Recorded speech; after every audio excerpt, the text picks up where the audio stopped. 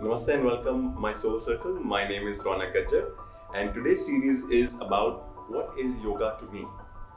Yoga is basically a sacred union of male and female energy which is based in us and based outside of us. Now, Lord Patanjali, who wrote the base of yoga, the fundamentals of yoga for our world, is he wrote 196 sutras, and out of 96, 196 sutras, there were not more than 10% of the sutras written on the physical body. Right? He wrote about Samadhi Pada, Sadhana Pada, Vibhuti Pada, and Kaivalya Pada.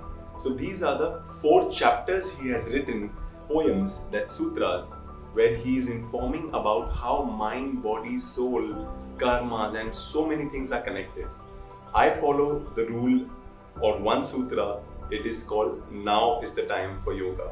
Whether you're eating, walking, working on the computer, working on your phone, or even watching a video, now is the time for yoga.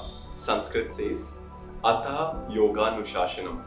I hope you enjoyed my today's quick series on yoga. Thank you, take care, and bye bye.